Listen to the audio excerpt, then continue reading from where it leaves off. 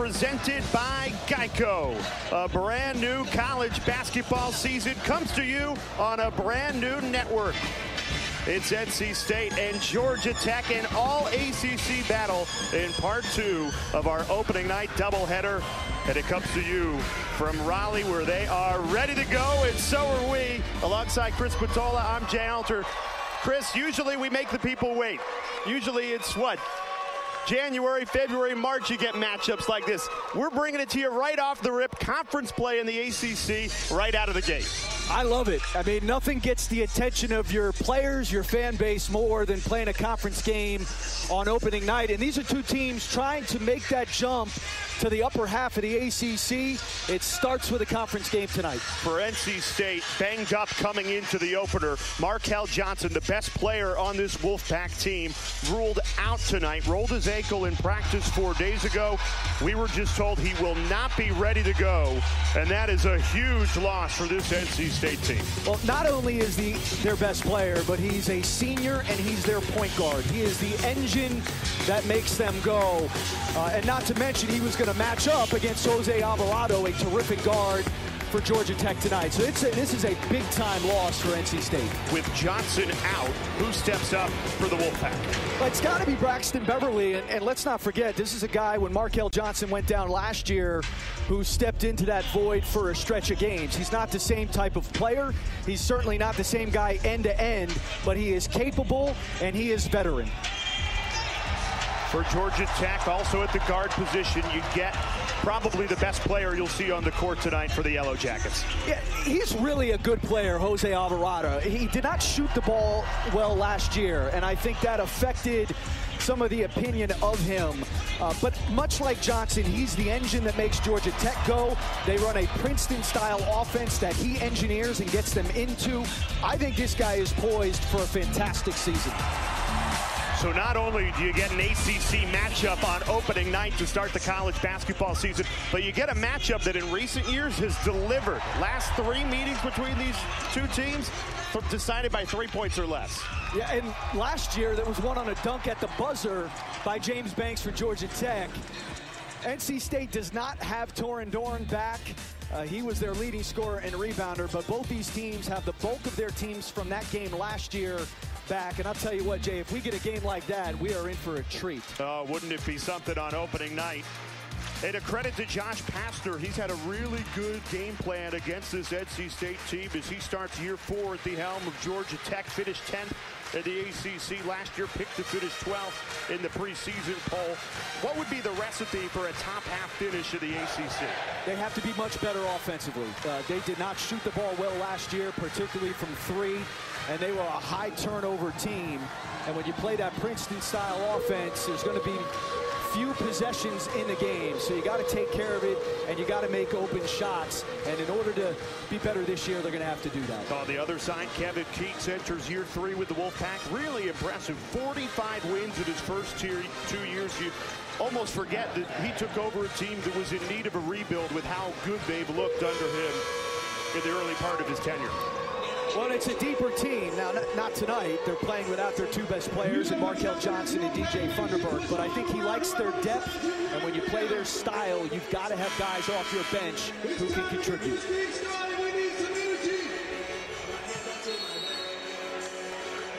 Great crowd on hand for opening night in the ACC. We are underway in Raleigh. NC State controls the tip. And Georgia Tech starts in their, in their zone. It's a matchup zone. It kind of looks like a... I take that back. They're in a man. Showing a man-to-man -man early. Played a lot of zone the bulk of their defense last year. And it's a zone that has stifled this NC State team in the last two meetings. Five to shoot on the opening possession. C.J. Bryce pull up pop offensive board. Devin Daniels he can't cash in. And finally, Georgia Tech corrals the rebound. Here's Jose Alvarado. This entire Yellow Jackets offense runs through number 10 in gold. And Beverly matched up against him with Johnson out. That's a key matchup for NC State. Go inside. Kick out. Moses Wright thought about a three. Five to shoot. Inside to right, the Raleigh native with one on the timer. Has to get rid of it. Wasn't aware of the shot clock. But NC State, great defense on their opening possession. Last year, Georgia Tech turned the ball over on 21% of their possessions. 316th in the country. And when you're so deliberate offensively in that Princeton style, again, there's not a whole lot of possessions in a game where you could just give it away. A makeshift starting lineup for the Wolfpack tonight with Markell Johnson out with an injury and DJ Funderburk out with the suspension. Manny Bates, the redshirt freshman, tries but can't connect. And Georgia Tech in a zone there, so it'll be interesting to see how they they do that balance defensively. Manny Bates, a big rejection on James Banks inside. And a foul call comes after.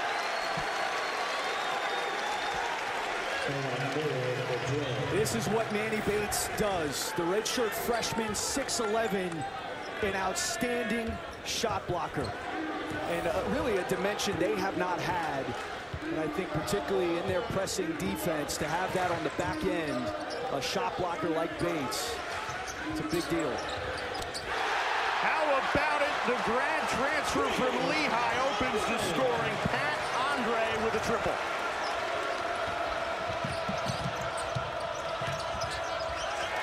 On the other end, he gets the steal.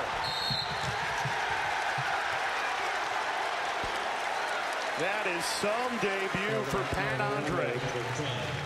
Kevin Keatts told us yesterday he thinks he's got a better shooting team this year, and this is a big reason why. The transfer from Lehigh, going to play that forward position for them. If you remember last year, Torin Dorn, much more of a driver, a slasher, not really a perimeter shooter. Andre gives them that dimension. Shot 42% from three a year ago, but that was in the Patriot League. Now going against an ACC defense and he drills. The first shot he takes and then gets the steal on the other end. Here's Beverly at three. It's good. And that's what he does.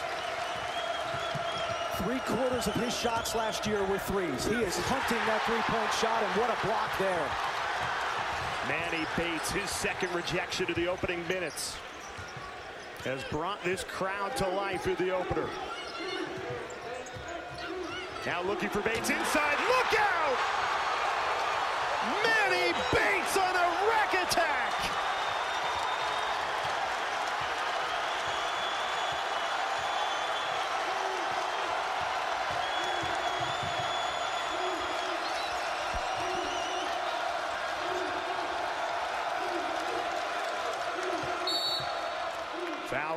That'll quiet this Wolfpack crowd. But talk about a great start to get your crowd into it on the opener.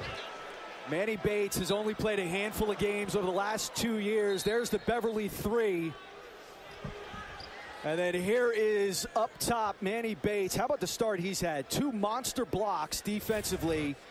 And then you give him a little sugar on the other end with a nice little lob pass. And what a finish by Manny Bates. He was forced to redshirt a year ago with a shoulder injury. He missed most of his senior year in high school with that same shoulder. So it's been a long time since he stepped on a competitive basketball court.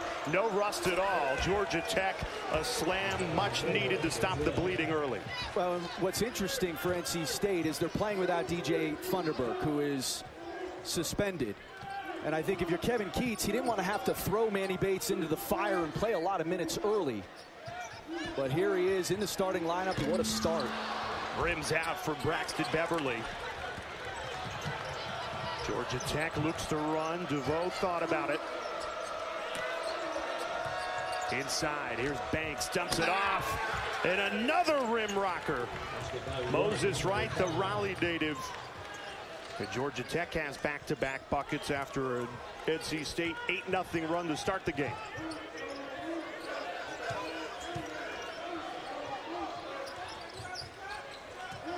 Here's C.J. Bryce.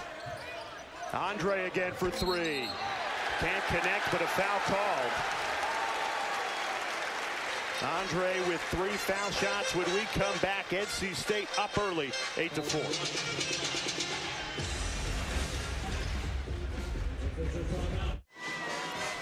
ACC Network basketball is presented by Geico. 15 minutes could save you 15% or more on car insurance. Alongside Chris Spatola, I'm Jay Alter here at PNC Arena. And the Wolfpack off to a great start, opened up on an 8-0 run at NC State without Markell Johnson, without DJ Funderburk, arguably the two best players of this team, but it's the two guys, Manny Bates and Pat Andre, that subbed into that makeshift starting lineup that had such a great start to this game, and now Andre heads the line for three foul shots. You know, what a story Pat Andre is, a transfer from Lehigh. He, he went into his coach at Lehigh, Brett Reed, and said he wanted to do a grad transfer year somewhere else. He finished the transfer paperwork at 8.30 in the morning. By the end of the day, he had heard from 75 schools, and the last call of the day was from Kevin Keatts and NC State. And here he is. And, you know, look, this is a team that shot 32% from three last year. They already have two made threes in this game, and Andre standing at the line shooting three free throws. And he makes all three of them. Andre off to a quick six points. What made him so desirable?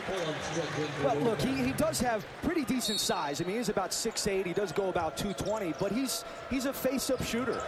I mean, Kevin Keatts says he's as good a shooter as I've seen in a long time. I mean, he had a game at Lehigh. He made 10 threes in a game. That's how good a face-up shooter Pat Andre is. Michael DeVoe steps into a three and hits it.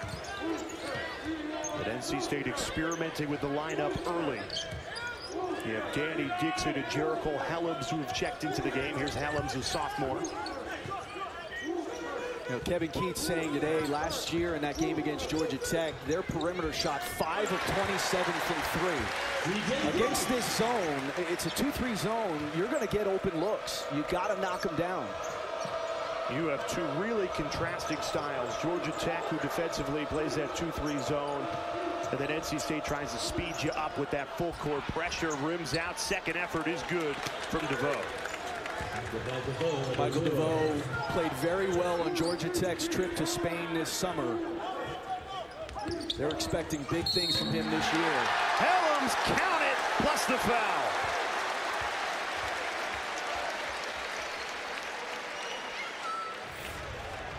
You can't foul a face-up shooter. I mean, that's now two. They fouled Andre on the three, and then there, you're just closing out too hard.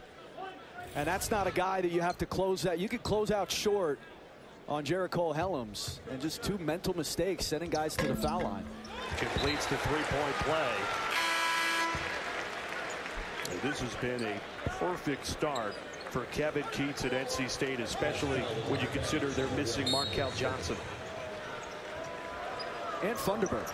Right. I mean, you have to throw him in there. He is a big boy. He's gained about 20 pounds. When he gets back, he is going to make a major impact. And Georgia Tech is all out of sorts early in this game. Third turnover already.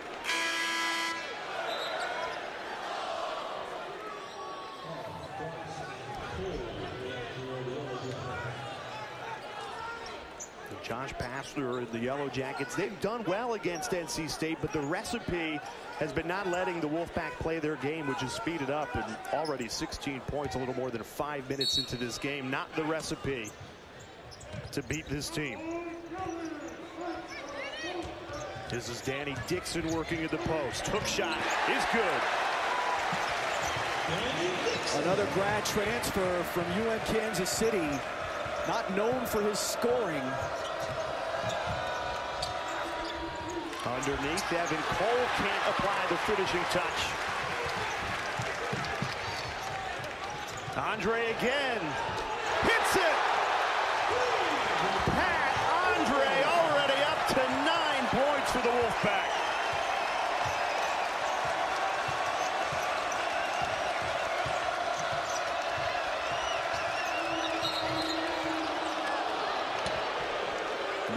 Now I know why 75 teams were after his signature. well, here's the Dixon hook. And this is not what he is known for, but fundamental there. And then how about this? I mean, you got to find this guy. And to be honest, that defense wasn't bad. I mean, that that's a hard closeout. And that's just a guy who's feeling it in his first game at NC State. The best three-point shooter to come out of the Patriot League since Chris Oh, easy there now. easy there. No, he is he is a superior shooter, and, and that's what he does. Now the question, as you said earlier, that Kevin Keatts has had is can he defend at this level? Can he physically hold up as an ACC player? Inside, poked away. Devin Daniels pushes the tempo. Another three. Hellems can't connect. Offensive board. C.J. Bryce swatted away.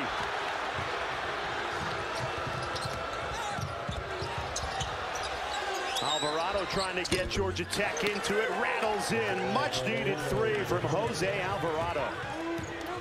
As the guy did not shoot it well last year, but shot it well as a freshman. So he's capable. And he worked on it so much over the summer, as he was telling us earlier today. Now this team goes as Alvarado goes, so they need a big performance from the junior out of Brooklyn. Well, I, I always say the Princeton offense is not designed to get backdoor layups, although that's what everybody thinks. The Princeton offense is to get slow, undersized teams jump shots. Now, Georgia Tech's not slow and undersized, but that's what that offense is designed to do. It's designed to get face-up shots. Last year, Georgia Tech made 94 threes as a team. For context, Cam Johnson alone made 96. Wow. So I mean that's how that's how good Cam Johnson is, but it's also how poorly Georgia Tech shot it last year. You know, Josh Pastner spoke about it. They need to be better than 30% from three to compete in the ACC. Right now, struggling with Manny Bates inside. Redshirt freshman can't get the finish.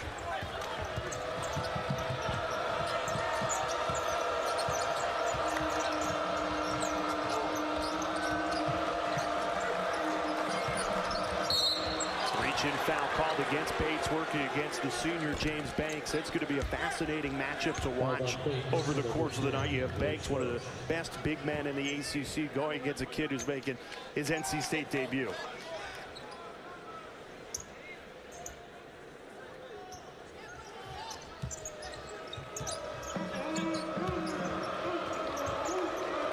Right back to Banks.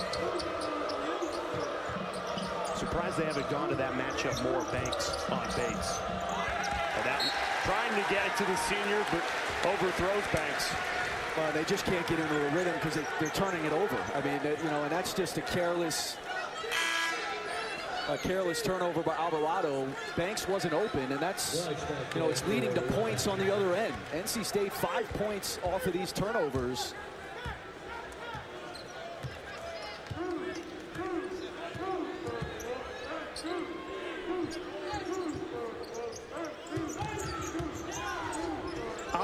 From deep. Why not?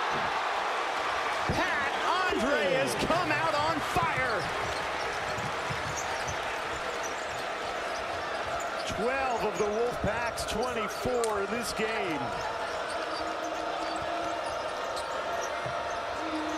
Here's Banks working on Bates inside. Dishes it off. Asanti Price. Can't knock down the three. With all due respect to the Weather Girls, it's not raining men here. It is raining threes. And they're coming from Pat Andre in his debut in an NC State uniform. It's raining threes.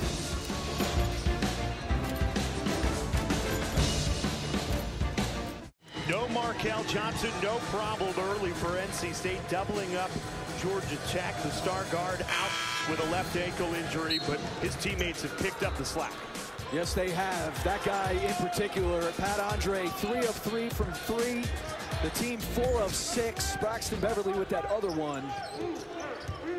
Tell you what, makes your offense look real good when you come out shooting the ball from the perimeter like that. The Lehigh transfer has not missed, dishes it off there. Three threes and then three foul shots as well, gives them 12 points. Manny Bates having quite the debut, can't get the finish there.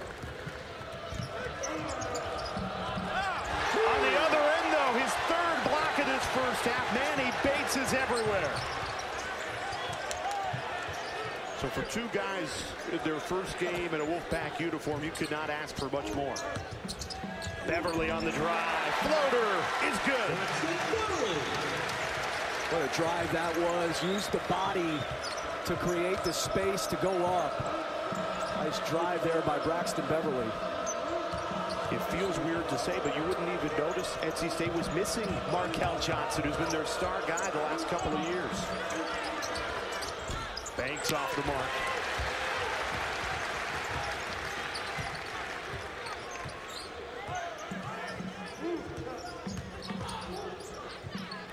Hellems for three. Way too much on that one from the sophomore. So Georgia Tech has struggled offensively. What can they do to get back in this game before halftime? Well, not turn it over. Again, they've got five turnovers, and that's a good start. Is hitting that roll and forcing, you know, Manny Bates in this game, forcing him to at least defend. You know, he's got the, the three blocks, as you said. He's also got an early foul. I mean, they just haven't executed. The turnovers haven't helped. They haven't really gotten anything off of their Princeton stuff.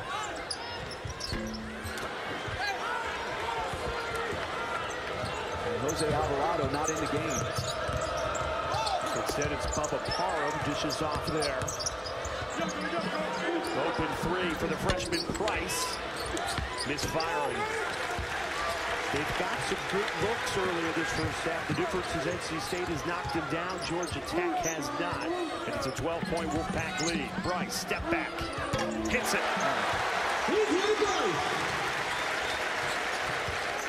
I mean, it's everyone everyone has caught fire. What a move there. An individual move by C.J. Bryce on the step back.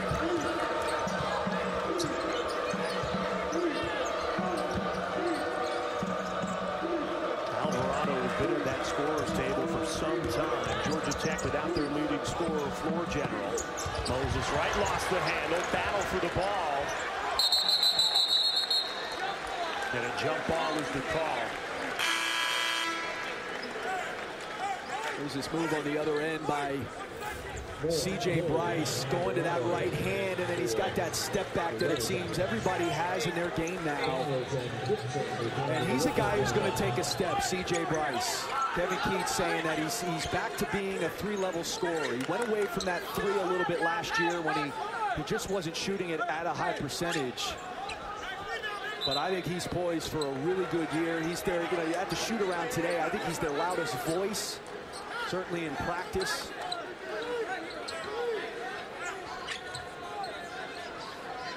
Now there's four seconds on the shot clock following the jump ball call.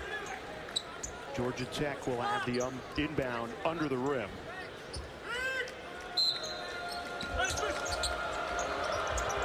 Need a quick look here. They go to Moses Wright. Double team. Gets a shot out. Second effort. Not good. Right a third time. Goes up for it and gets it plus the foul. How about that? Moses Wright, who went to high school six miles away from the NC State campus, finally gets it to go. That's a big front line. Moses Wright, 6'9", James Banks, 6'10". Both those guys doing work, keeping that ball alive.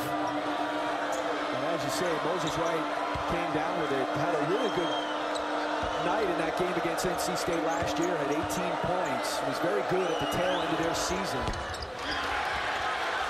And he said it was because he was home in Raleigh that really motivated him in that game. Ended up following it up at the ACC tournament with a 25-point performance against Notre Dame. A deep shot. Alvarado, touchdown at two points. What a pass by Parham to find the streaking Alvarado. They don't run a lot, but Georgia Tech will be opportunistic. Andre looking inside, ripped away. Best spell of possession for Georgia Tech so far tonight. Parham straight to the rack. Out to Alvarado for three. Too much on it.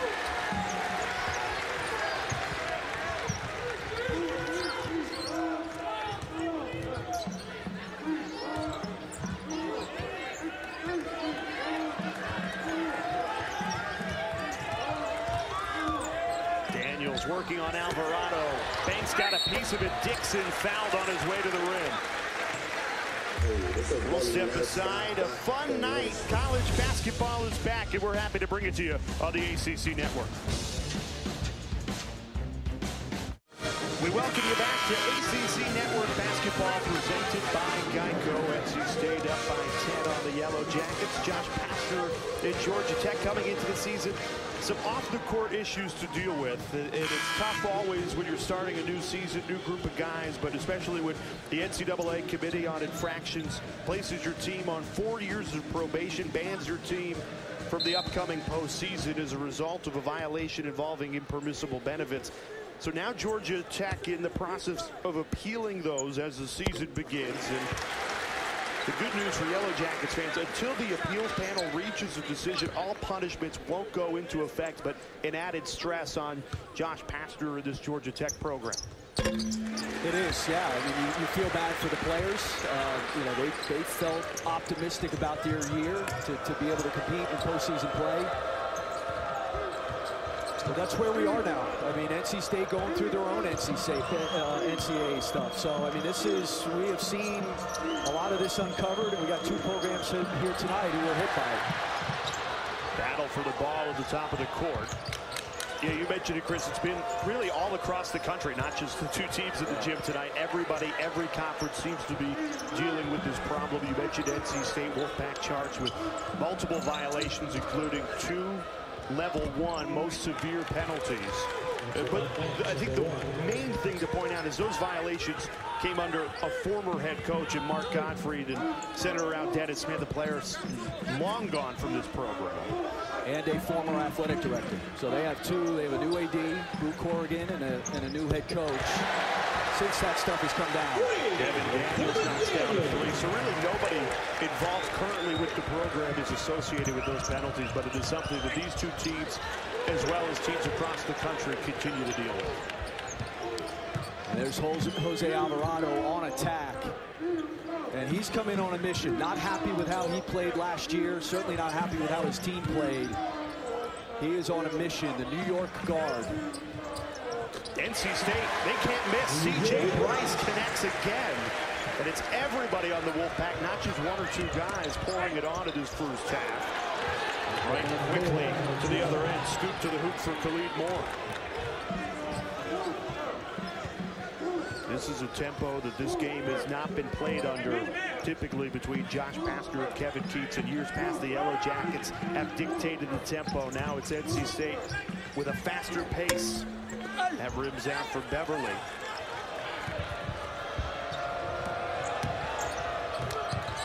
Moore trying to run again. Dunks inside. Nice pass. Can't finish the three, though. And a foul called on the rebound against James Banks.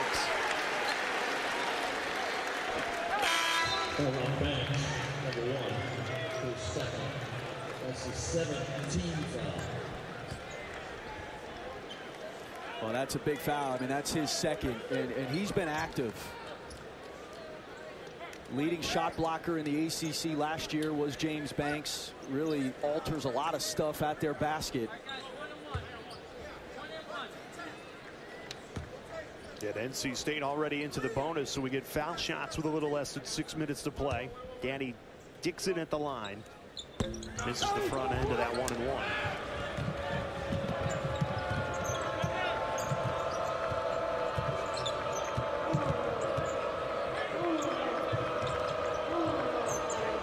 Give and go off the fingertips of Evan Cole. Another turnover. That's six against the Yellow Jackets in his first half. And that's where Georgia Tech has run a little bit more than they typically do. And I think in part because they want to beat that half-court defense down. NC State has been so good. We haven't seen the press have a whole lot of an effect in terms of turning Georgia Tech over there. But in the half court, man, they have really gotten after Georgia Tech. You said coming into the game, contrasting styles between these two teams, and it's been all Wolfpack in that department. Stolen away here by Georgia Tech, though. Alvarado pulls the trigger. No good. NC State off and running again. Daniels straight to the rim. Off the window for two.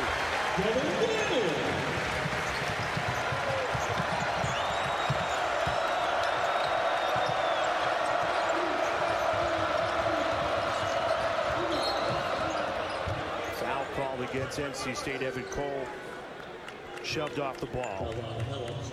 Hellem's second foul. You know, it's worth mentioning, too, with how well NC State shot it from three tonight in this half. The, the three-point line moved back about two feet to that international line. It's uh, about 22 feet at the top of the key. It's a little bit shorter, the corner shots. Uh, but you're, you know, it'll be interesting to see. I don't think it'll affect attempts. I think teams are going to shoot it at the same rate. But it'll be interesting to see if percentages dip a little bit, at least in the early going. Yeah, both of these teams have played with that international line, though. Georgia Tech did it in Spain, and NC State was part of the experimental in the NIT. Shot clock violation. Great defense from the Wolfpack. That half-court defense has been so active. And they're playing with two new guys in that starting lineup, in Bates and Andre. They're playing without Markell Johnson, who's so good at getting after the ball, and yet that half-court defense has been locked in in this first half for NC State.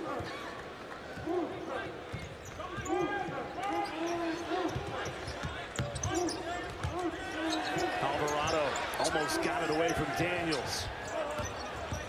Braxton Beverly, pop off the drive, nothing but air, but kept alive on the line. It'll stay with the Wolfpack, eight to shoot.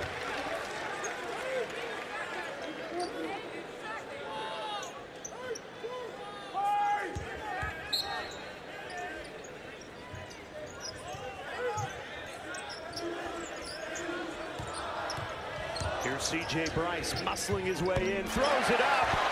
C.J. Bryce, everything he has put up in the air has found its way to the bottom of the cup.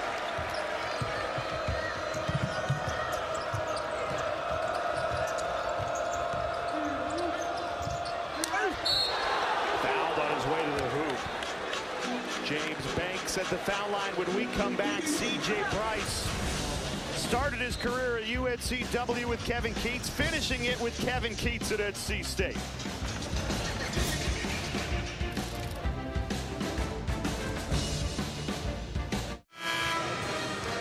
NC State up 15 on Georgia Tech. Chris Spatola, Jay Alter with you. Chris, it's a simple game. You turn the ball over, your opponent makes threes, you're going to be losing. But what's amazing is Georgia Tech was a top 50 defensive team last year. In this first half, NC State is shooting 51% from the field, 62% from three. I mean, it's been their offense. Now, their defense has been locked in, and we, we've talked about the turnovers, but there's been zero resistance from Georgia Tech on the defensive end. And I think Josh Pastner's tried to figure out the zone really hasn't pro provided the resistance. They've gone to more man-to-man -man in this half than they typically play. But NC State is firing on all cylinders and from a lot of different guys. And this is a Wolfpack team missing their star guard, Markell Johnson, out with an ankle injury. And big man DJ Funderburk, who's indefinitely suspended. So you take out arguably the two best players on this team. Other guys step up, and they have looked really good to start this season. Daniel somehow keeps his dribble alive, denied at the rim, all the way up to Michael DeVoe. Great outlet pass, and he's fouled hard on his way to the rim.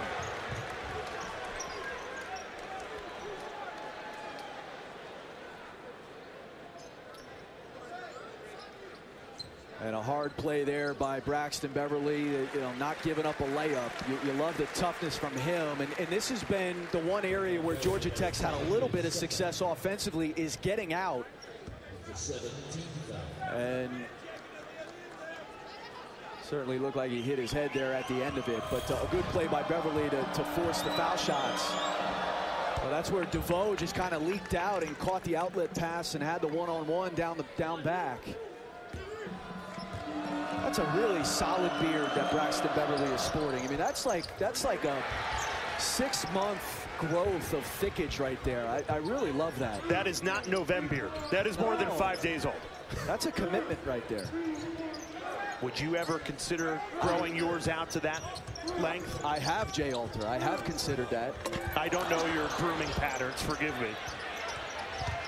Manny Bates lost it underneath. And Georgia Tech's found success in transition. Go right back to it. Blocking foul called on Braxton Beverly. That's his third. He picked up two in less than a minute.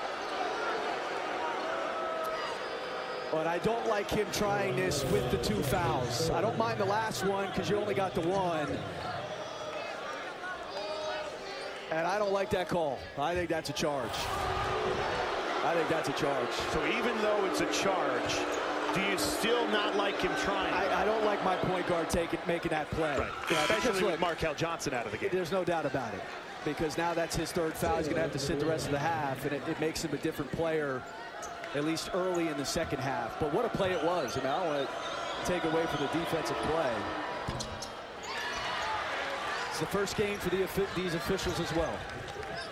So C.J. Bryce, who at times will play the four for the Wolfpack, taking the ball up with both Beverly out of the game and Johnson out injured. A.J. Taylor, his first touch of the season, and it's a turnover. Up ahead, risky pass, somehow pays off. Banks flies in for the finish. James Banks rocks the rim. We've seen two monster dunks in his first half. The alley-oop for Manny Bates early in this first half, and then that one right there. Making like Inspector Gadget. Go-Go Gadget arms. Look at the delivery here, running the lane, and right up over the top for James Banks. Big time finish for the senior. And that got deflected a little bit. Manny Bates got a piece of that. And Banks still finishing through traffic. What a play. You're Physically imposing on the court, both offensively and defensively. Coming into his senior season, Banks an opportunity to really establish himself as one of the best big men in this conference. Yeah. Well, he was last year. Again, he led the league in shot blocking. He's developed an offensive game. He's been very active in this first half. Speaking of style choices, have you noticed the new officiating shirts they're sporting this year? I, am told it's a Raglan style shoulder. They're trying to modernize the look of the officials this year. I, I respect the hustle. I did not notice until you pointed it out, but I do like the style change. Banks, big finish again. Did you know that it was a Raglan style? No, no, Raglan. You. This is it's a Raglan style shoulder. No, I have not. I have not read up on that. I've read up on the rules changes, but not the officiating wardrobe changes. Yes, yes. Along with the rules changes, we're trying to modernize the officials. I don't know how Jamie Luckie's taking to that. He's been around a long time, but he looks good in the new Raglan style shoulder. I think that's more important than the three-point line moving out. So James Banks has had two back-to-back -back rim rockers. Let's see if they go back to number one in gold. Can't get it to him. 10 to shoot. Price triggers a three. Too much on it. Final 90 seconds of this first half. NC State looking to add to the nine-point lead. Long rebound. Georgia Tech runs with it. DeVoe weaving his way to the rim and is fouled. Transition's been good for Georgia Tech. Really the only way they've been able to get some consistent offense in this first half. You know, Josh Pastner telling us earlier today there were about nine games last year that if Georgia Tech could have mustered about six or seven percentage points better at the three-point line, they would have won those games. I mean, they're just so bad as a team shooting from three last year. And that's what that Princeton offense gets you. The Princeton offense is about getting open jump shots. That's how. That's why Pete Carril had an undersized team, a, a slower team, a team that was good passing, good IQ. And that's what it's designed for. In today's modern game, though, you don't see a lot of it, especially in the ACC. You see derivations, you know, like the John Beilein system that has permeated through a lot of programs is a derivation. It's not, and that's what Pastner's running. It's a derivation of it. But still a lot of the same principles and a lot of open jump shots. Georgia Tech having success in transition. Not exactly their game, but they've crawled their way back into this game. Only a seven-point deficit and two foul shots upcoming. They've kind of quietly crept back into a first half that the Wolfpack have dominated from the start. And they've gotten to the foul line. You know, NC State, in part because of their style, sent teams to the foul line at the highest rate in the league last year.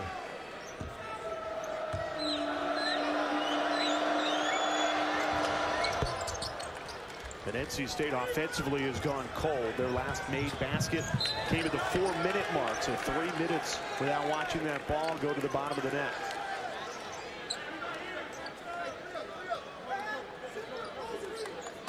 And no doubt about it, Braxton Beverly coming out of the game with his third foul has definitely delivered a blow to the rhythm of this Wolfpack offense. Well, and Pat Andre not making threes. You know, I, th I, think Georgia Tech has locked in even tighter on him, perhaps fatigue setting in. And there's Braxton Beverly, who's got the three fouls.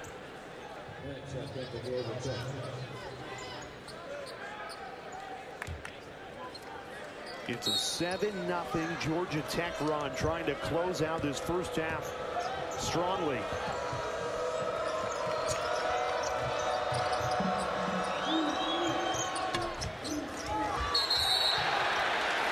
Foul on the rebound.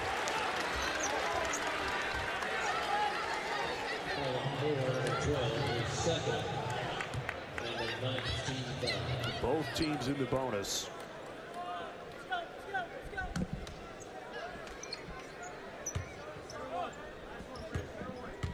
A.J. Taylor at the line with 40 seconds remaining in this first half. It's amazing how coaches are putting rosters together these days. You know, NC State's got two grad transfers. A.J. Taylor, a junior college player. Just kind of manufacturing players from different angles. And it's, it's for, in a lot of cases, freshmen are not necessarily the primary target. Or incoming freshmen, I should say. A lot of ways you can build a team, not just adding, you know, seniors in high school. Timeout taken by Georgia Tech. Nine seconds separating the shot clock and the game clock. We'll step aside. Wolfpack up by seven right before halftime.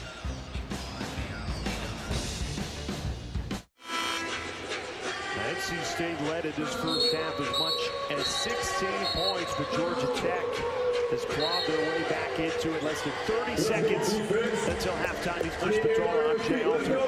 You can't point to anything offensively. The Yellow Jackets aren't really shooting the ball much better, but somehow, some way, they're back in this game and looking for more. Well, they've been better at taking care of the ball over the last five minutes of this half, and they their defense has locked in. Braxton Beverly on the bench for NC State has held the Wolfpack on a drought. Trying to get back into it with some defense. A.J. Taylor on the rejection. Shot clock is off. Andre a three. No good. Follow finish not there. And that does it for the opening half on opening night between Georgia Tech and NC State. Coming up after the break, we take a look around the ACC. NC State, Georgia Tech on the ACC network.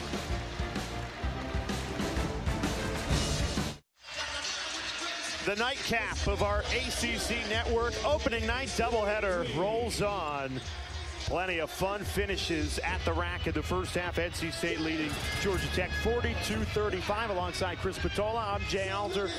Chris, how great. ACC Network, brand new this season. The league always competitive, but this year, the depth of the league, the stars in this league, seems like it's as good, if not better, than any year. Yeah, and the name brands. I mean, like, you know, again, at the top, you've got the, the North Carolinas, you've got the Virginias, the Louisvilles, the Dukes. Duke, a big win tonight against Kansas in that Champions Classic. Uh, I think those four teams are separated. Like, I think they're going to have Duke and Carolina certainly have the ceiling to do it. I think Virginia, Louisville bring the DNA back from last season to do it. Florida State, I think, is going to be good. Notre Dame, better. And then it's this part of the ACC. The NC States who we're seeing tonight, Syracuse, Miami got walloped tonight by Louisville. Georgia Tech, like that's the, the area where I think the ACC was so strong last year. Can that part of the ACC be good again? With UNC, you have them pick to top in your preseason poll. Big reason why, Cole Anthony. Yeah, you know, look, he's got the highest ceiling, and I think a lot of folks love Jordan Nwora, and they should. He had a double-double tonight in their win against Miami. But Cole Anthony is the most talented, and, and if he has the year anywhere close to what Coby White had last year for Carolina, I think he's uh, got a great shot at winning Player of the Year. And then Tony Bennett, they're going to be good again in part because of their style. Uh, I think people are kind of with the defections to the NBA with their backcourt, uh, which was so good last season. I think people are kind of sleeping a little bit on, on Virginia. If they're as good as I think they're going to be, he's going to deserve Coach of the Year. Wouldn't be surprised if Kevin Keatts got his name into that conversation. Wolfpack so far off to a good start. Led by 16, Georgia Tech has clawed back. We have the second half on the other side.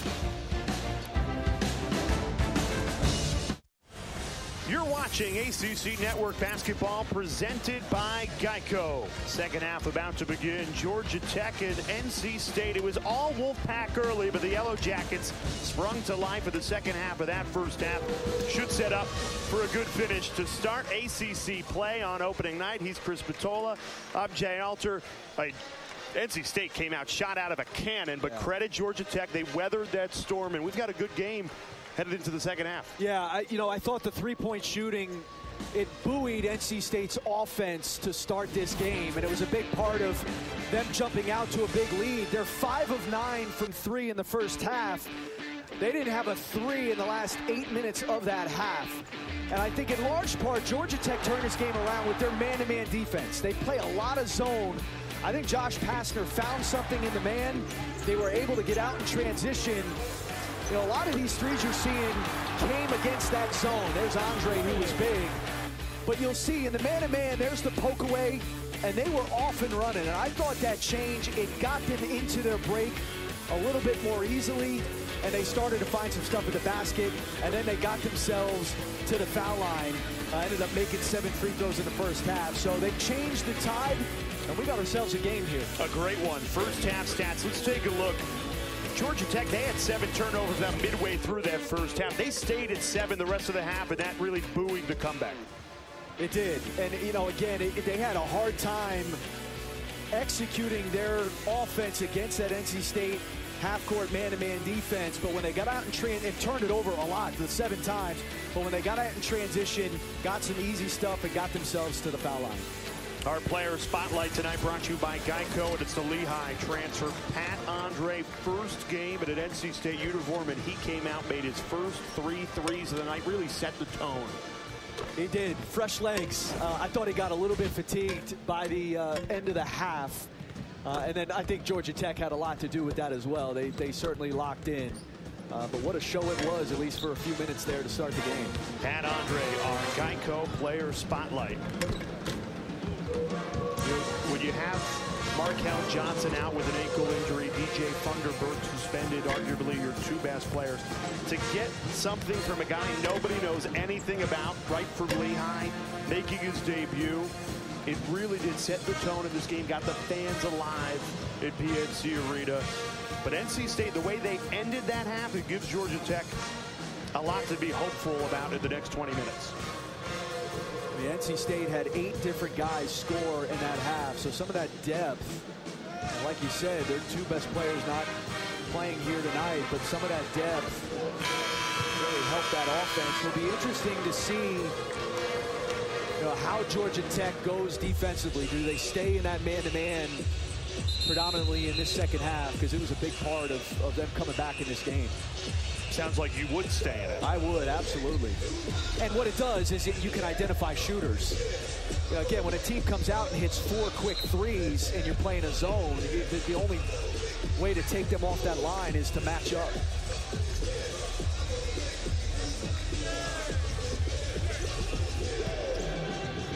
Braxton Beverly back on the court after three fouls in that first half sat the last four minutes, so that's really what got Georgia Tech back into this game. Wolfpack led by as much as 16. That lead is down to seven to start this second half.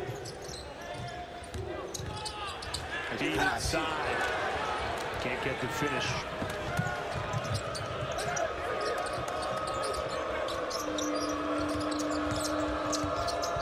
Kick out to Vo. There's Alvarado.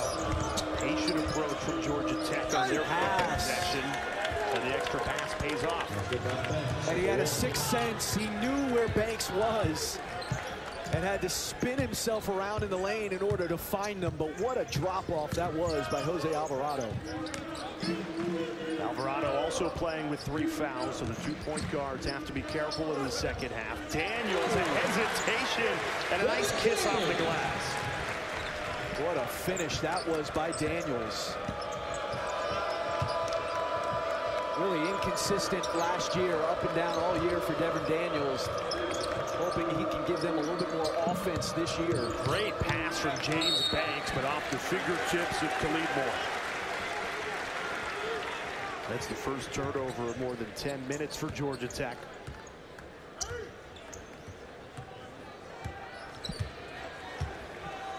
especially with Markell Johnson out of this game, you cannot undersell enough Braxton Beverly's presence on the court. When he is on it, this offense has been humming.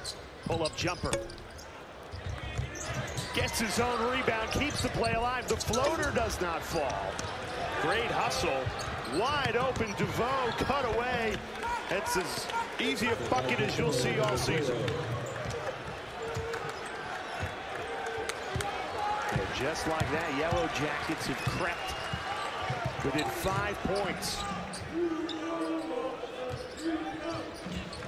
Bryce pull up pop. It's good. CJ Bryce. You know, one thing with no Markell Johnson and Georgia Tech playing a man-to-man, they're, they're not really as effective in their ball screen stuff. Nice finish there. Georgia Tech has found something in transition. The offense really starting to get going. And another great pass by Jose Alvarado to Khalid Moore. And what a finish through the contact. Jose Alvarado, Khalid Moore were AAU teammates. Moore actually, both guys from New York. Khalid Moore played at Molloy High School in the city, was, was teammates with Cole Anthony and Moses Brown. Cole Anthony now at North Carolina, Moses Brown now with the Portland Trailblazers. Played for an AAU team in New York, the Rens, coached by uh, a guy named Andy Borman.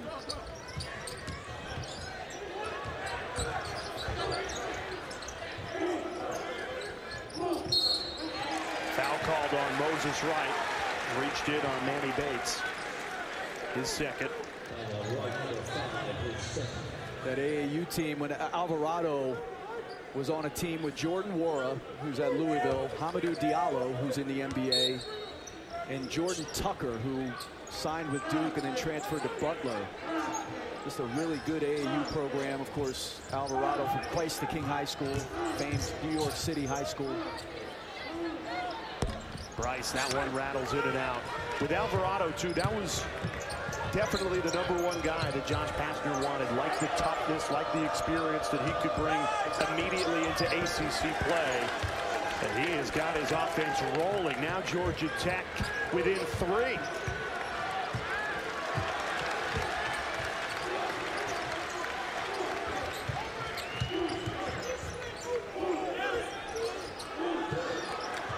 This is the closest this game has been since it was 4-0 at the beginning of it. That's the fourth foul called against Jose Alvarado. And just caught in a mismatch here. C.J. Bryce just too small against Moses Wright, and you love the patience from Moses. That's a big foul call. As Alvarado forced out of this game with his fourth foul. A lot of game left. So Georgia Tech without their floor general for the foreseeable future. Daniels trying to take advantage of it, and he does. Down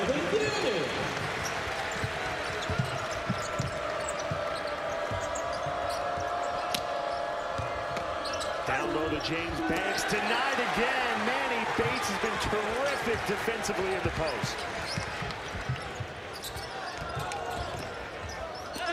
Swatted away underneath by Moses Wright.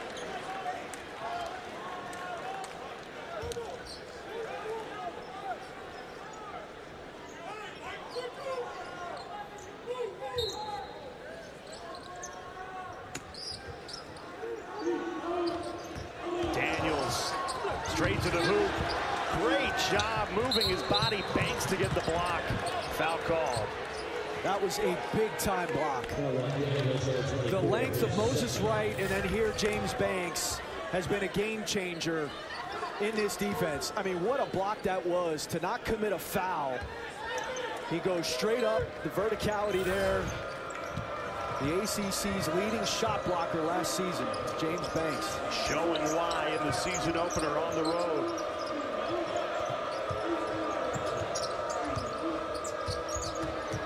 lot of contact and is the call. Jericole Hellems getting himself in position. NC State leading by five. Georgia Tech coming fast.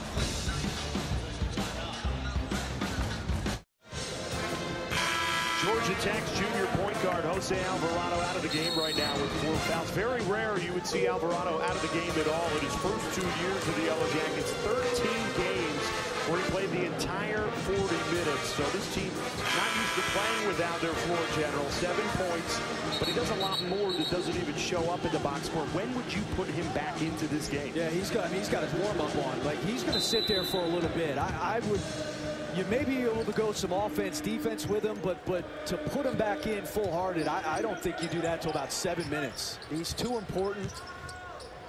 Because if you're NC State, you're just going to drive him. Whoever he's matched up with, you're going to drive him and force him to play defense. Banks getting the better of Bates on that matchup down low. He's Chris Spatola, Jay Alter. I agree. I just want to watch the score. He came out of that game when it was a three-point game, 46-43. You just don't want to let NC State separate themselves and take advantage of Alvarado on the bench too long.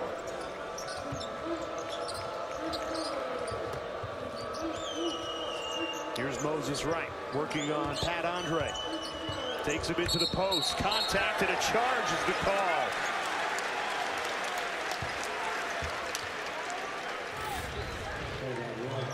There's good position defense here, and, and you know, Andre, he's got both a tough angle there to see exactly how much contact, but, I mean, he's certainly backing him in. He's got two feet on that floor in legal guarding position. The question coming into the season was not can Pat Andre shoot? We know he can, shooting better than 40% in his career. It's can he defend at an ACC level so far tonight? How do you think he's done? I think he's been fine. He certainly hasn't been exposed. I mean, you know, his, his offense, he, has got to be able to do something else besides shoot the basketball, especially at, at that position. But the one thing he does give them is he does stretch the floor. I mean, you have to identify him.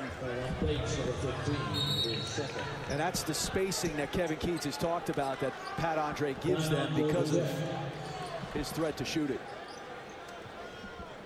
Timeout Georgia Tech. Wolfpack leading by five. 15 left to the second half. We've got a good one.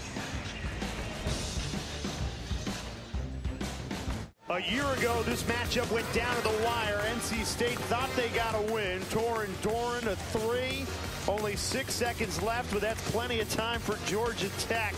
Alvarado the drive. James Banks finish plus the foul. Georgia Tech wins that game 63-61 alongside Chris Spatola. Abjay Alter Yellow Jackets trailed as much as 16, but they're back within five, setting up for what could be a finish very similar to a year ago. One big difference in that game. That game was played March 6th as DeVoe drills a three. And you don't have to wait till March. You get it opening night as these two go punch for punch. Two-point game here in Raleigh. What execution out of the timeout by Georgia Tech. A screen to screener. DeVoe wide open at the top of the key.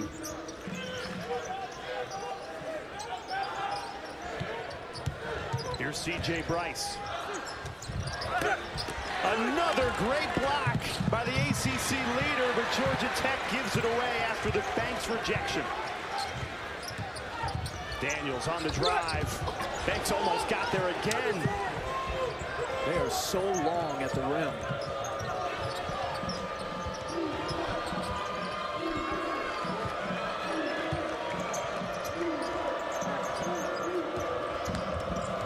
Khalid Moore up and under does not go.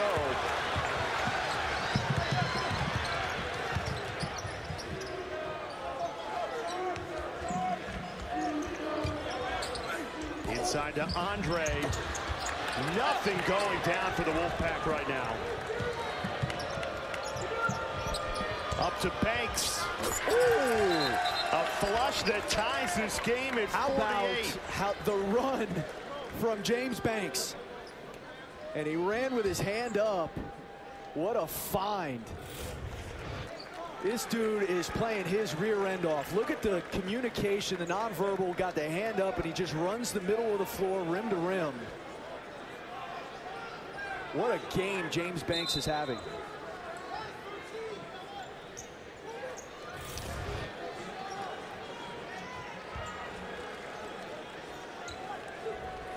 Tied at 48 for the first time since it was 0-0.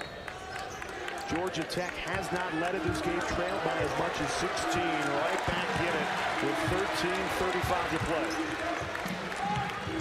Braxton Beverly back in this game with the three fouls. Much needed Jericole Hellems drills a three.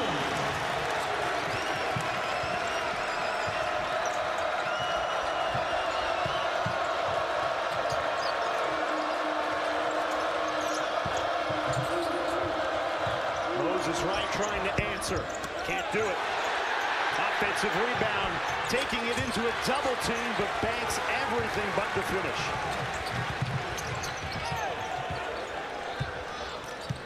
Banks with 12 points, 10 rebounds, so a double-double, and he's got four blocks as well. Moses Wright getting in on the block game.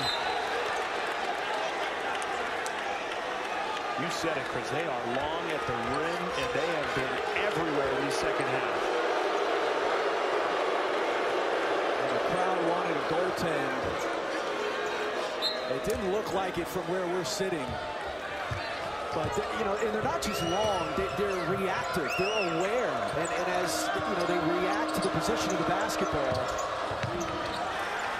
Great positioning, and Moses Wright cashes in.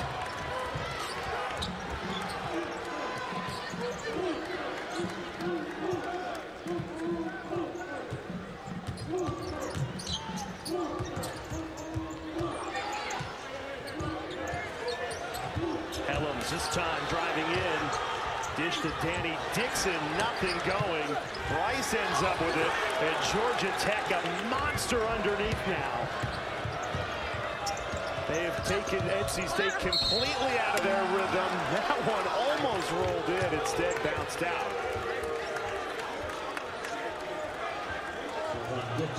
I mean, this, this is not just being physically capable. This is about good timing, about effort, about being aware.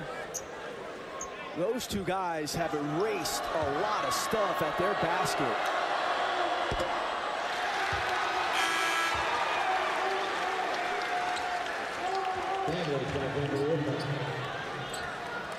And this is where, if you're NC State, you miss Markell Johnson. Because, again, they run a lot of ball screen stuff, and it's all predicated on Johnson and his ability to be creative, to get into the paint, to settle the team down. Cross court pass by CJ Bryce, pulls the trigger, hits it. When NC State has needed a bucket, they've turned to Bryce and he's delivered. A two-point lead as we step aside. This one's going to be a fun finish in Raleigh. Welcome back to NC State. Georgia Tech has eight blocks in this game. James Banks has five of them. He's got a 7-5 wingspan, but he's played hard. He's been active. He's been alert. He's been physical. He has been all over the place. And it's not just the eight blocks. He's got another eight that he has altered. He and Moses Wright at that basket have changed this game in the second half. Big reason it's a two-point game. And along with the blocks, 14 points, 10 rebounds for the senior. He has really grown into this game. NC State, they started 14 of 27 from the floor. Since then, 5 of 24. Georgia Tech looking for their first lead of the game. Would have gone if that three fell. It did not.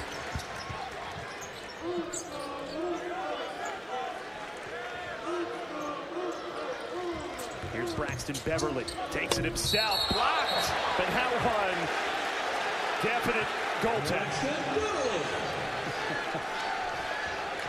There's no question about that, but I'll tell you what, if you're Braxton Beverly, you'll think twice on that next one in lane. It's a good drive, and that's basically volleyball off the backboard. Well, we just showed you all the blocks, and Georgia Tech giving no signs that that'll end in the final 11 minutes. Everything that goes up on the inside is being contested. Give and go. And a foul is the call as Moore was getting his footing. That's the 15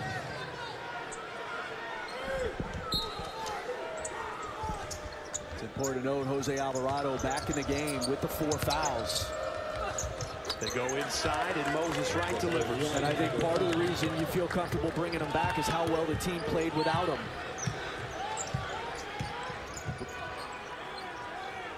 Andre tries a three off the mark. He started three for three from beyond the arc. He's really cooled down. That's a foul against Moses Wright. Foul on Wright, number five, his fourth.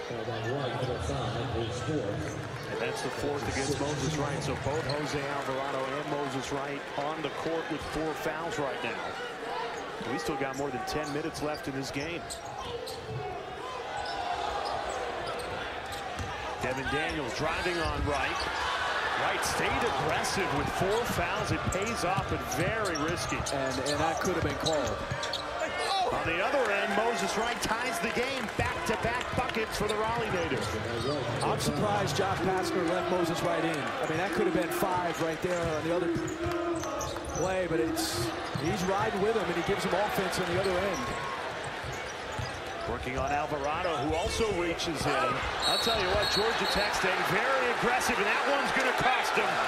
Moses Wright, with his fifth foul, will foul out of this game. Josh Pastner is livid. Foul on Wright, number five,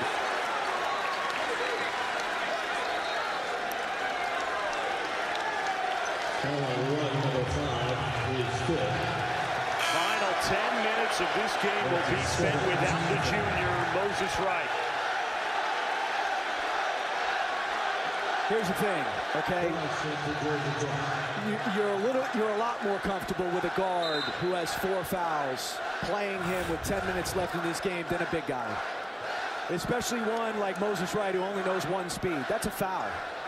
It is. there's no question about that. That is a foul. And we spoke to Wright yesterday, and he said he grew up six miles away from campus. He plays with more passion in this game because NC State did not recruit him, and he was in their backyard. Well, that, that's great, Jay, but passion is one thing. When you got four fouls in a game like this, Oh, I another. totally agree with you. And, you know, you just can't. You got to take that guy out of the game, and then if not, Moses Wright's got to be smarter than that. So both on the player, obviously, because he did continue to play aggressive. There were two or three non-calls that could have been. But Josh Pastner has to recognize that and take him out of the game.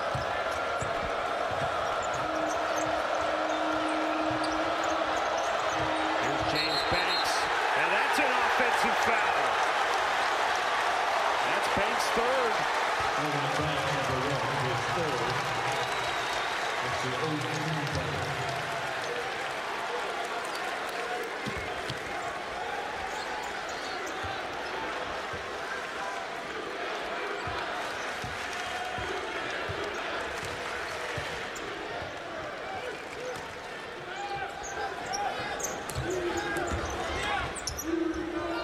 Stolen away by Khalid Moore. Moore takes it all the way himself, doesn't rim in, but a foul called. Khalid Moore has shown some flashes here tonight. You know, I think he's probably more comfortable playing at the four. He's kind of a tweener. But with Moses Wright and James Banks, they've got more at the three. Not really a shooter, but he shows you there what he does. He's so athletic. He's got good size, about six seven.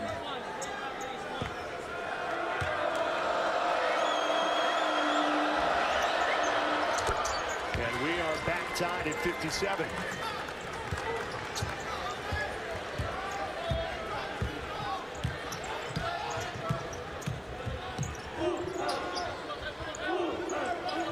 Devon Daniels committed the last foul. He has four fouls now. He stays in the game as the fouls continue to stockpile. And that's number four against James Banks. So that's quickly becoming the story. And you got to take him out. I mean, you have to take him out of the game. And it looks like Josh Pastner is going to do that. Evan Cole comes in for Banks.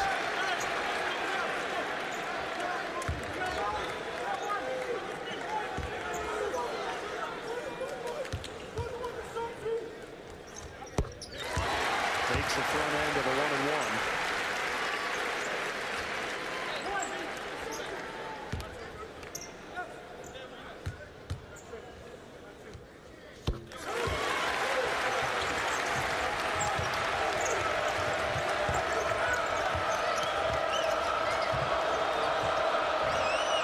All second half, this has been a back and forth game. Georgia Tech has not led though.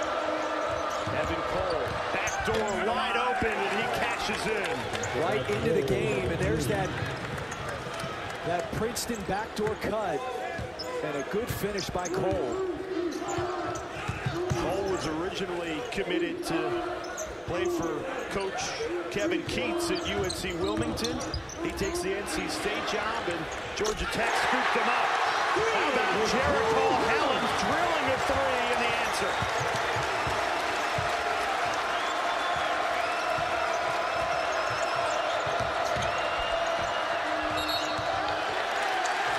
Asanti Price stepped on the line. It's a turnover. Hellems not known as a three-point shooter, but on the that sucks the entire defense into the lane, Hellems wide open. A great find, and he steps in and nails it. The sophomore has 13 points as a foul. He's called that one by Michael DeVoe, his second. Uh, Hellems has been great, 13 points, two threes. A sophomore that Coach Keatts said could make a big step up from his freshman year. And remember, every foul now will send NC State to the foul line.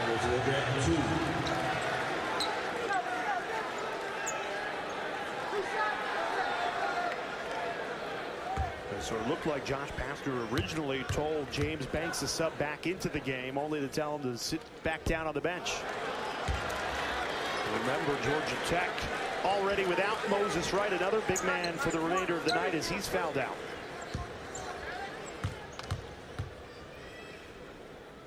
And free throw shooting going to be a big part of how this game is decided. Georgia Tech in the double bonus, NC State in the one and one. Alvarado lost the handle, somehow got it back. Khalid Moore misfires. And the turnovers continue to pile up. That's number 14 against Georgia Tech.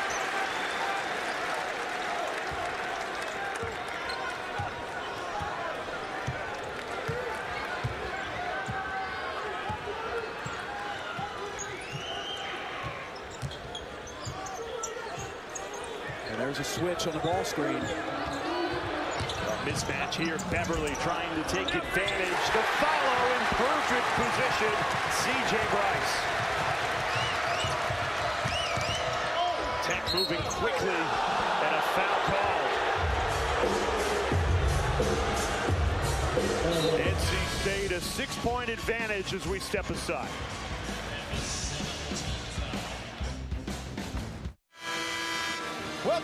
To ACC Network Basketball presented by Geico. This game was tied at 57. And then James Banks, the senior big man, picked up his fourth foul. Moses Wright's already fouled out of this game. So Georgia Tech with some decisions to make as three of their starters, one's already fouled out and two have four. Yeah. Well, and NC State in the double bonus for the uh, you know the last seven and a half minutes of this game. Likewise, Georgia Tech in the one and one. And if this thing gets you know, to the point where NC State can be deliberate, you got to go right at Banks. I mean, you got to force him to play defense, see if you can draw that fifth. And James Banks has subbed into the game, so the senior playing with four fouls. And after both foul shots, we've got a four-point game.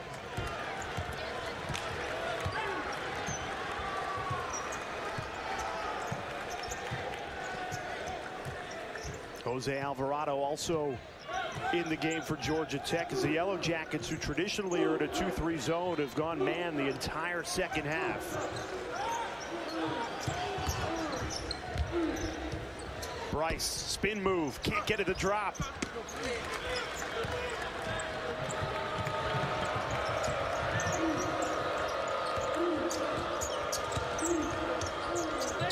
Risky pass somehow kept alive by Georgia Tech. Alvarado somehow gets on the other end of it.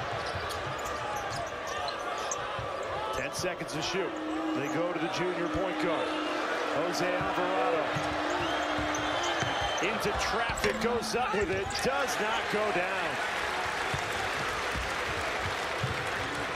That was a good look. That was well defended by Jericole Hellems. Stayed back, stayed big, and didn't foul.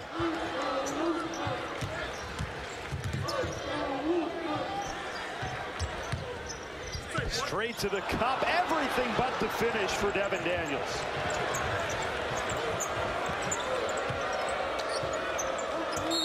And Josh Pastner takes a timeout.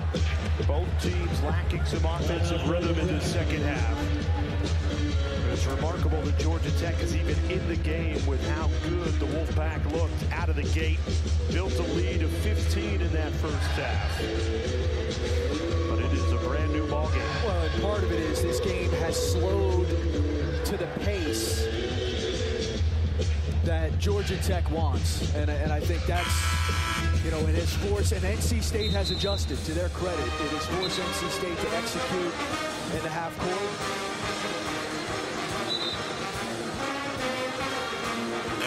You know, it'll be interesting to see how the foul trouble for Banks affects their defense. Because a big part of their defense tonight in that man-to-man -man has been the rim protection for number one.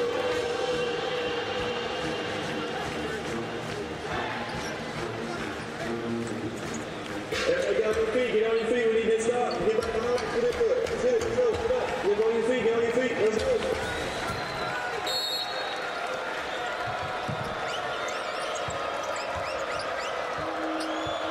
Alvarado playing with four fouls. Here's DeVoe, into it and hits. What a shot fake. You gotta love it. Shot fake into the shot. Nicely done by DeVoe.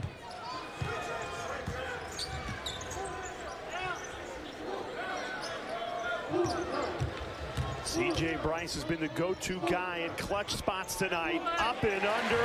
And gets that to fall.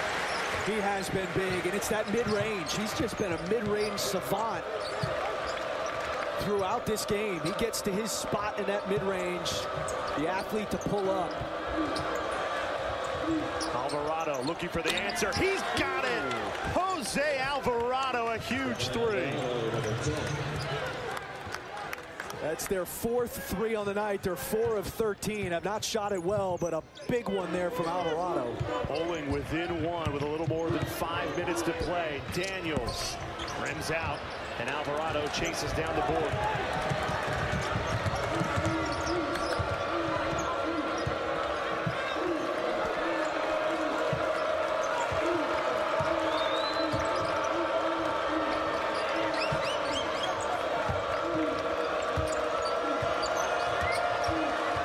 Ten to shoot. No look pass. And a travel from Khalid Moore.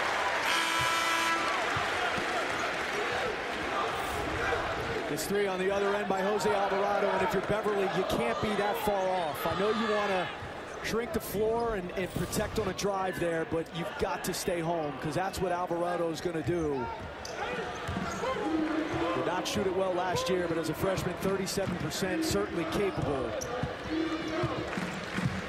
15 turnovers, costly for Georgia Tech, and yet the Yellow Jackets only down by one. CJ Bryce, pull up, pop, connects again. That's been his shot right in that mid-range. He leads the Wolfpack with 18. Here's James Banks into the post, playing with four fouls. Great finish. That is advanced post play right there by James Banks.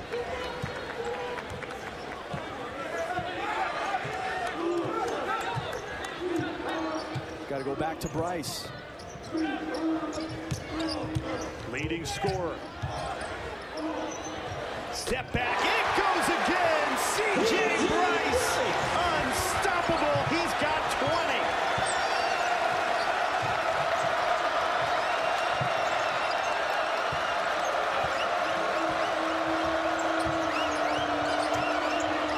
Alvarado a three, off the mark. Bates couldn't secure the board, but got back to play some great defense. Jump ball forced by the redshirt freshman. CJ Bryce making like MJ in this mid-range. The fadeaway, delicious bottom.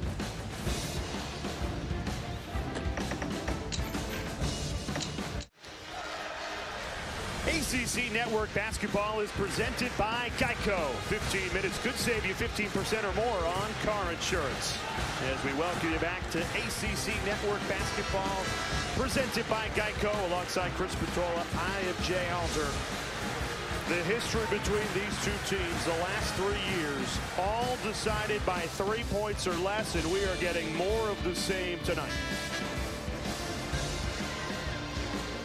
The bonus for the fans at home, usually you have to wait until after the new year for ACC basketball. You get it on opening night. The season starts into the ACC, the best basketball conference in the country. No surprise it's going down to the wire. Jose Alvarado defending Braxton Beverly with four fouls. He's played with four fouls for most of this second half. CJ Bryce, he's been the go-to guy. Leads the team with 20 points. Lost the handle, though. Great defense by Khalid Moore. And they say it was a shove on CJ Bryce. Foul against the redshirt senior will be Georgia Tech ball. What a defensive possession by Khalid Moore. Didn't back down, stayed in front, little poke away there, and then he gets after the loose ball. And it's a 50-50 ball, and look, when, when guys go down like that, I mean, I, there's no problem with that call. But what a defensive play by Khalid Moore there. Stood his ground and induced the turnover. A one and one coming for the sophomore. Makes the front end. Kid's got a bright future, man. He's played well tonight. Six seven, a little over 200 pounds, only a sophomore. 11 points on the night, and we've got a one-point game with three minutes to play in Raleigh. Georgia Tech has never led in this game. NC State led by as much as 15. Back to Bryce. Attacks. And it rolls in. It was good defense and better offense. C.J. Bryce getting himself in the lane again. What a shot and finish. Leads the Wolfpack with 22. Alvarado, too much pace on that ball. DeVoe tracked it down, though. Hits the three. Michael DeVoe ties this game at 73.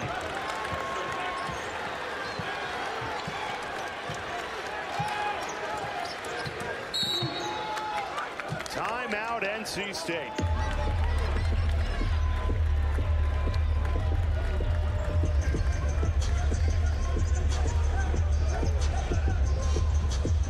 We are seeing some shot making down the stretch in this game. Look at that one right there. I mean, well defended. And CJ Bryce with the touch in the lane and then just too much space. Hand down, man down. And Michael DeVoe. Up the lefty right in the face of the defender. What a big shot that was to answer. It was impressive. He even got the ball back, kept the possession alive, but then stepped into that three and drill it to tie this game at 73. Something else from the sophomore. You imagine out of this timeout, they're going back to Bryce.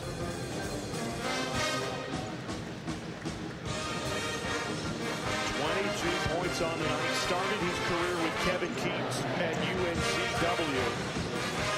After his sophomore year he was a first teamer in the Colonial, he sat out to continue to play for Keatts at NC State now at his fifth and final year. And the lights are on for C.J. Bryce in the opener. Final two minutes and we're tied at 73. Hellems into the paint, fading away, is called. Hellems will head to the line. It's a silly foul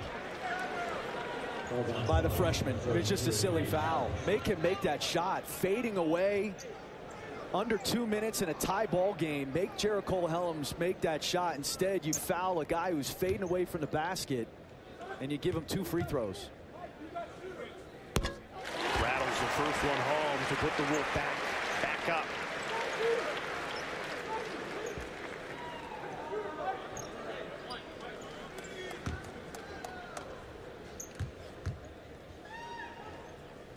And it's a two-point lead.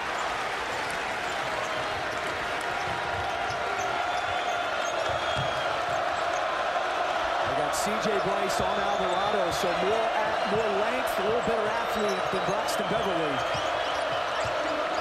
There's a switch. Comes off the pick, Nice gets it back to. Banks for a flush to tie it at 75. Oh my gosh, what a dime. Tied for the seventh time tonight after the Banks big finish.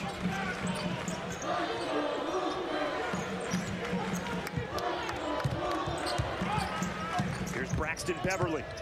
Alvarado in his face. Kick to Hellems. Can't bury it. Kept alive by Bates. It's a loose ball. Georgia Tech has it. And a timeout taken by Jose Alvarado. Tied at 75 with a minute and six seconds. It's Georgia Tech basketball. And that's their last time out, but what a heads-up play by Alvarado. And how about this heads-up play? He's had about four passes tonight where there's no way he could see his teammate. He just sensed where he was. What a dime that was. And how about Banks filling that spot for the finish? Jose Alvarado with a dime. That play was eerily similar from a year ago in this building. Georgia Tech with Jose Alvarado goes the length of the court and dishes to Banks for, a, I mean, almost identical dunk. This is after NC State thought they won the game on that three. This is identical. Great feed. Well, he's just so good at reacting to the defense. I mean, there on that play, the defense helps up, and he drops it off. And then on the last one again, the, the defense collapses to help. Banks fills the lane nicely, and just a nice wraparound play.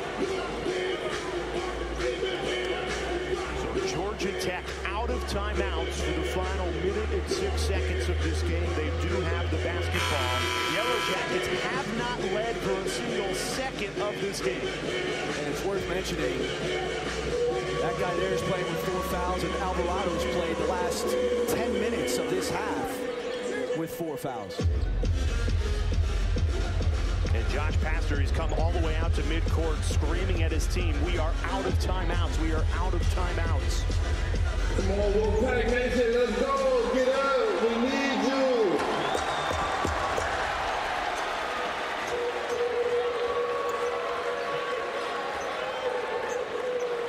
And NC State will come with full court pressure.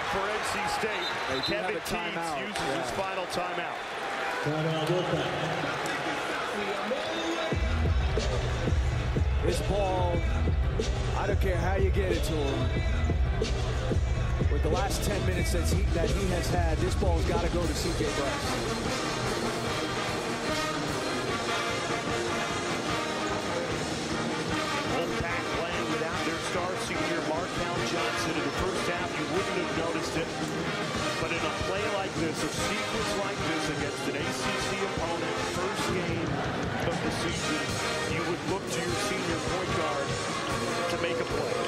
He would, and he's not here. And that guy has been no punk tonight. I mean, he's a redshirt senior, grizzled veteran, former CAA Player of the Year. I think he has now adjusted to ACC life. I think he's poised for a monster season. This night, I think foreshadowing that, the ball's got to go to him, and, he's he's done a nice job with that matchup. And you assume Khalid Moore will be the guy on him with his length. Khalid Moore about two inches taller. Right now, if you're proud to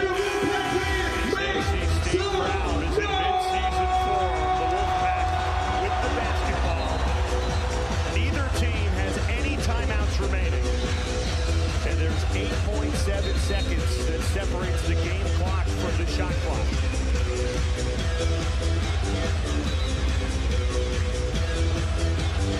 What a game this has been, Parker. Boy, are we happy college basketball is back. And to bring it in on the ACC network We need you now, ACC fans. schools going punch for punch in this second half.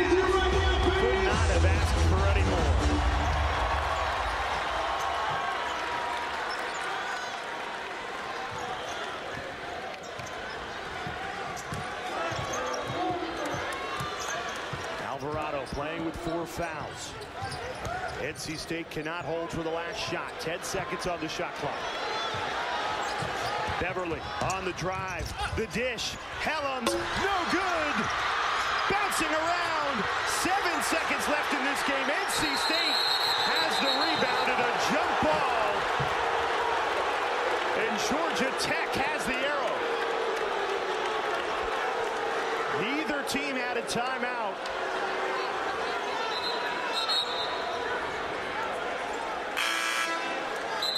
Was Pat Andre who originally had possession, but without a timeout to call, Georgia Tech got in there, got tough.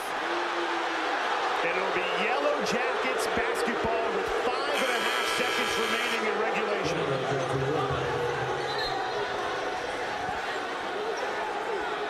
Who do you draw it up for? Well, you get Alvarado's going to get the ball much like last year and just drive the lane and find the open player.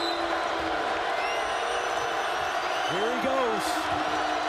Three seconds. Alvarado for the win. And we are headed to overtime in the ACC on opening night.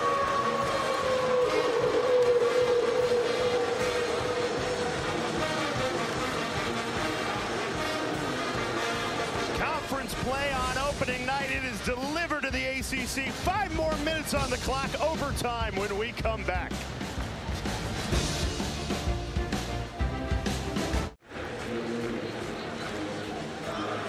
Forty minutes was not enough on opening night. Overtime, here we come. Tied at 75 in Raleigh alongside Chris. I'm Jay Alter. NC State playing without Markell Johnson out with an ankle injury. Also, DJ Funderburk lost his suspension. They led by as much as 15 shot out of a in that first half. But credit Georgia Tech have hung tough and enforced overtime. They have, and they've done it with their two best players in foul trouble. Jose Alvarado's got four fouls. James Banks has four fouls. They're going to have to go another five minutes here with that foul trouble. Somehow we are in overtime and Georgia Tech has not led for a second in this game. Seven ties, but no lead. James Banks, the senior, who has been a monster on defense and offense. Five blocks and a double-double to go with it. Who wins the tip for Georgia Tech to get us started in overtime.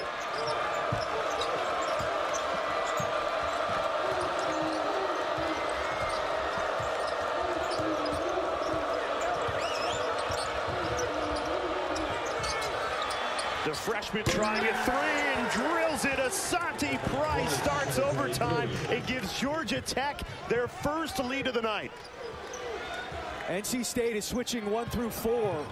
But when they get that 1-5 pick and roll, it's sucking in the defense on the backside. And that's how that shooter gets wide open. Beverly off the mark trying to answer. And it's Georgia Tech basketball.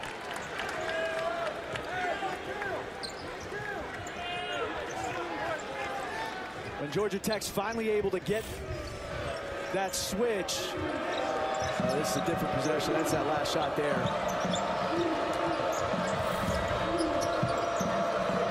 Well, it took 40 minutes and 30 seconds, but Georgia Tech with a lead in this game for the first time tonight. Going inside. Here's Banks working on the redshirt freshman Bates. Ooh, no good. The follow close, but does not fall.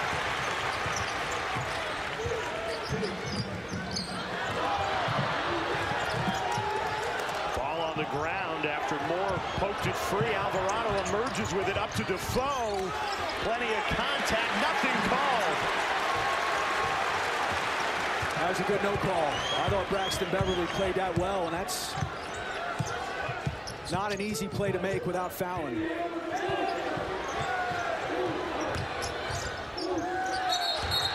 that time a foul is called on the aggressive Khalid Moore. Foul on Moore, number 12, his third. His third foul.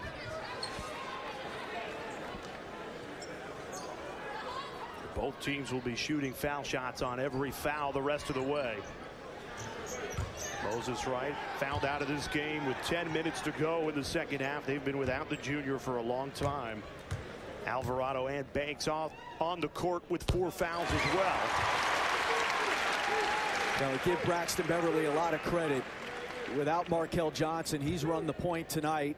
He's been in foul trouble, but he's done a nice job you know, leading his team, being that floor general they've needed. What is going to separate these two teams in the final three minutes of overtime? That's a heck of a question. Not much has separated them all night.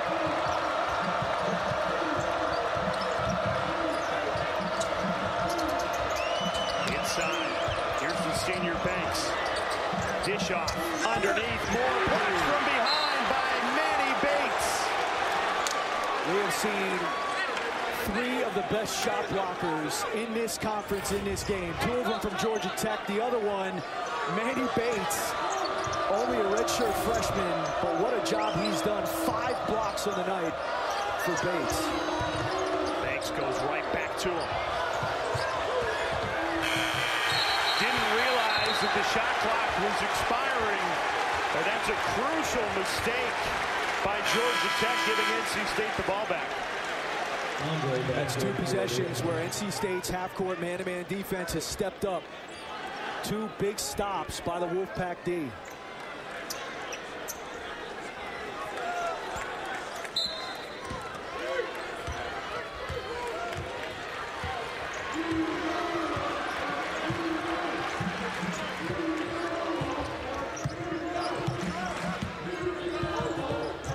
Beverly right back to work.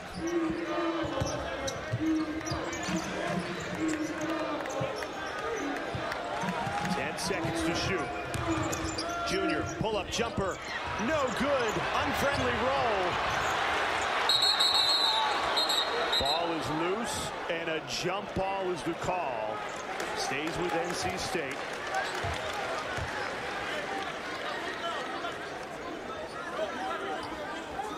Each team did get a timeout for overtime, but they ran out of timeouts in regulation.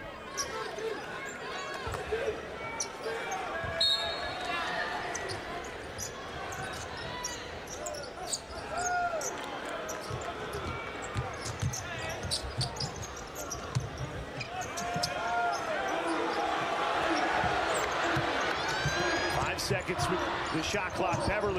Spins into a corner and somehow it goes down to put the Wolfpack, back in front.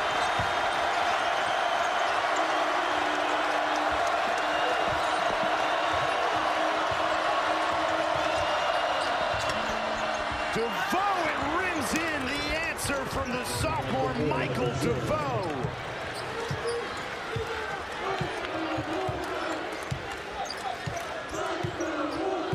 And these two teams just go back and forth. Beverly, too much on it. Alvarado trying to pick a pass, risky, and it's intercepted by C.J. Bryce. It looks like Alvarado cramped up after making that play. Oh, and NC State had an advantage. Five on four, and a nice job by Alvarado just to read that pass by Beverly.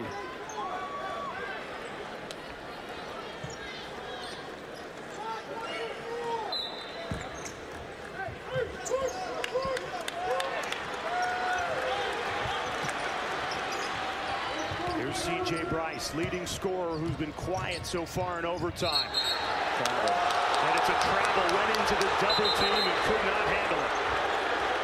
And a nice defensive play, just kind of pulling the chair out on him as he goes into that spin.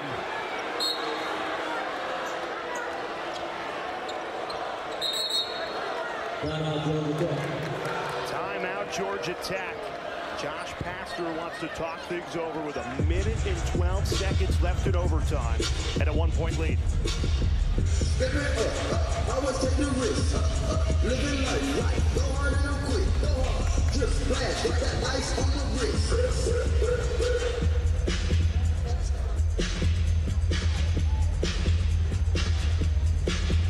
you look at the history between these two teams the last three years, all three games decided by three points or less. But to get this on the opening night of college basketball in the ACC on a brand new network, it's something special. Yeah.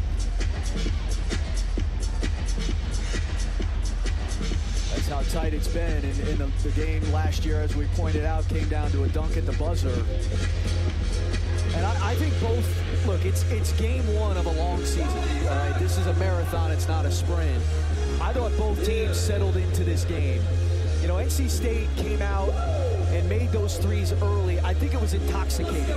I think it got them off to a hot start. It's not necessarily who they are. And I think both teams settled in. I think Georgia Tech's defense settled in. Shot for shot. And this, this is one of those plays where, again, I think Alvarado's going to have it. They're going to try to get in their ball screen stuff the matchup that they want. And they're going to go to work. And it's been Alvarado and, and over the last several minutes for Georgia Tech who have made big-time offensive plays. Georgia Tech took its first lead of the night in overtime, now trying to protect the one-point advantage in the final one minute and 12 seconds. They have the basketball. It's funny, Kevin Keatts, 45 wins in his first two seasons. He's beaten every ACC team except for three. Virginia, well, they've been so dominant, a few teams have. Virginia Tech and Georgia Tech. They've been a thorn in this NC State side for the last two seasons and trying to open the season with a road win here in Raleigh. Georgia Tech has been the one team that has not succumbed to the tempo that NC State wants to play. NC State presses you, they want to run, they play at the fastest tempo in the league. Georgia Tech, they play a 2-3 zone, and they run that Princeton offense. They are very deliberate, and they have never succumbed to that NC State tempo.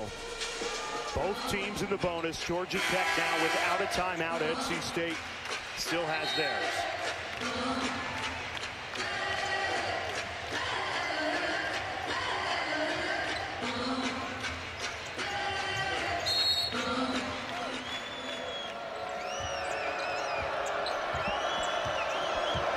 Jose Alvarado, who played the final 10 minutes of that second half with four fouls, stayed in this game. He has been the go-to guy for the Yellow Jackets tonight. Reliable with the ball in his hands. Goes to work off the bank screen. DeVoe, a three. No good. And Manny Bates grabs it. Good look. It's a play they've run a lot in this overtime. A good look. And a foul called. And that'll send C.J. Bryce to the line to try and take the lead from the free throw line. C.J. Bryce last year, 75% from the foul line, a good free throw shooter. Game one of the season. This is a big spot right here. And Bryce has not attempted a foul shot so far tonight. He does lead the Wolfpack with 22 points. And we are tied at 80. NC State very good from the foul line tonight. 19 of 22. And Bryce gives the Wolfpack the lead.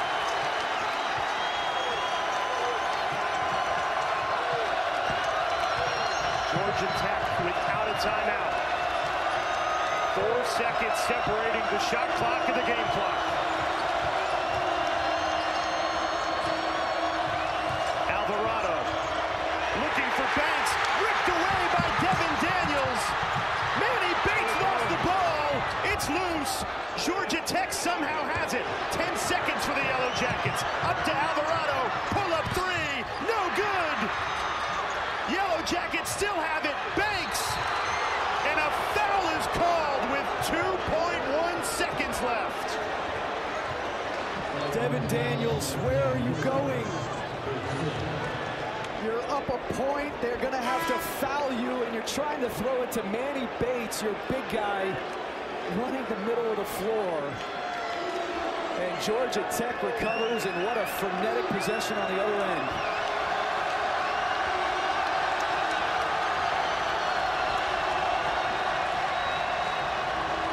A chaotic sequence with James Banks, the senior big man for Georgia Tech, at the line with an opportunity to tie or put them in front with 2.1 seconds remaining.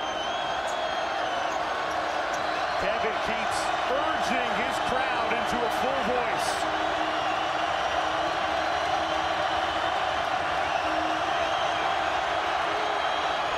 And we're tied at 81. That was pure.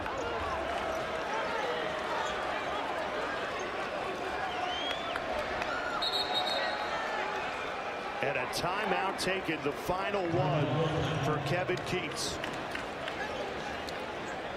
With one more foul shot still to come from James Banks, an opportunity to give Georgia Tech the lead. I don't know if the ice is something that works. It never worked on me. But you got to try whatever you can with two seconds left in this game. James Banks, 68% from the foul line last year. That first shot he just took was pure.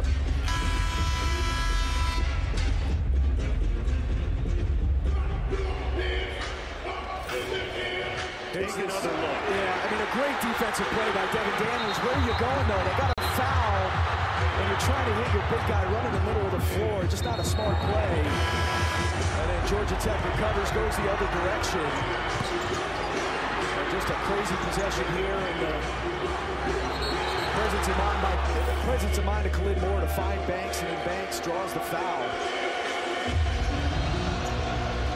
Banks two for two from the foul line tonight. The game is on his shoulders. And he hits it. NC State without a timeout. Two seconds to try and steal this game from Georgia Tech. Into Beverly. Has to let it fly and does. No good! Georgia Tech hangs on. A statement road win to start this season. What a game. What a game and what a win for Georgia Tech. The Yellow Jackets did not lead for a single second in regulation, but they will leave Raleigh with an overtime victory. They earned this one, got down big early, and then just chipped away, closed it at the end of the first half, and as you said, did not take the lead until overtime. And my goodness, what a job by James Banks, Jose Alvarado, Michael DeVoe. Played without Moses Wright for the last 10 minutes of this game. What a job by Georgia Tech. A year ago, James Banks won this game in this arena on a dunk with one second left. Now in overtime with two seconds left, he steps up, ice in his veins, knocks down the game-winning foul shot. And it's a Yellow Jackets victory to open up the college basketball season. The ACC Network the nightcap of our doubleheader, and it lived up to the hype in a big way. Georgia Tech, a dramatic victory, 82 to 81.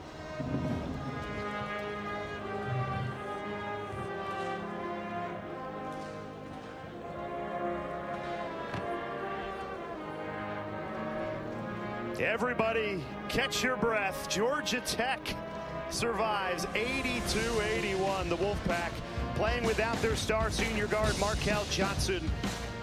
Did enough, played well enough to win, but they come out on the losing side. Our final score from Raleigh, Georgia Tech 82, NC State 81. This is only game one. We've got a long way to go.